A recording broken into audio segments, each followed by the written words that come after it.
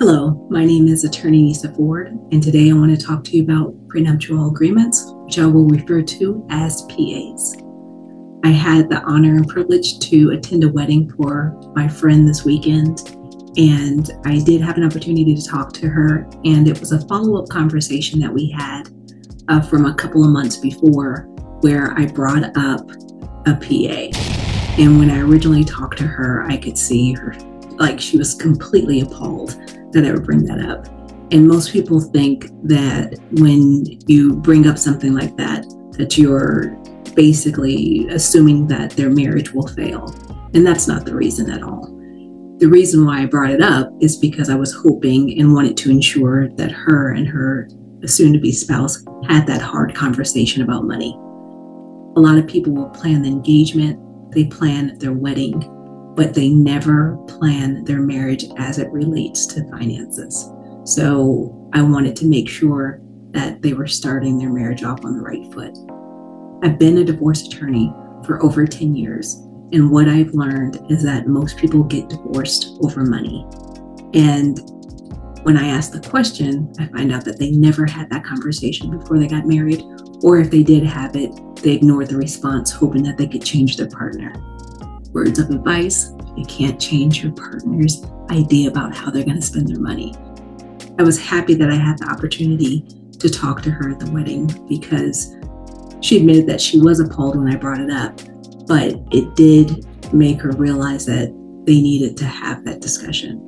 And so, even if they didn't end up with a PA, having the discussion was really important. The process of getting a PA requires disclosure of the finances of each party. So you're looking at, you know, bank accounts, any type of investment accounts, retirement accounts you have, uh, all the assets that you have, your cars, your homes. Also, uh, if you have any debt, that's super important. So having the conversation gives each person the opportunity to know how much their partner makes, and they also have the discussion about how much each person will contribute financially to the relationship, which is extremely important. Also, know that a PA is not a will.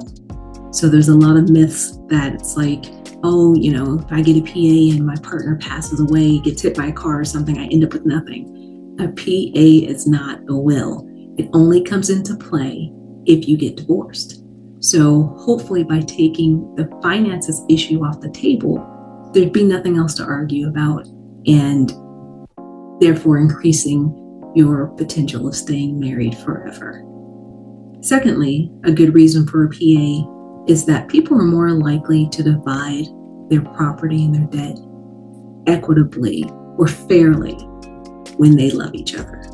So, in the process of deciding who would get what in the unfortunate event of a divorce, you're more likely to make sure that you're fair because at the time when you love this person, you wouldn't even imagine of taking advantage of them.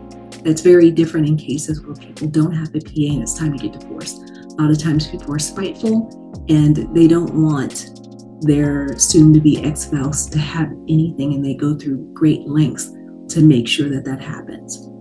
So, having a PA can ensure fairness and equity as it relates to your property and debt in a divorce. Lastly, having a PA can significantly reduce the cost of any divorce. So, if you are one of the unfortunate people that end up needing a divorce, having a PA already outlines what you're going to do with your property debt. Sometimes there's additional information in there about what you want to do with other things as well. But you don't have to fight about those issues.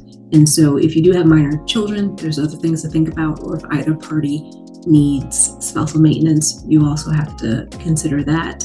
But a lot of times, the, the argument has to do with the division of property and debt. So, removing that issue can help streamline the divorce and reduce costs, whether you decide to do it on your own or hire an attorney, because that part is already figured out for you a long time in advance. So, my name is Nisa Ford with Legal Resolutions. Thank you for listening.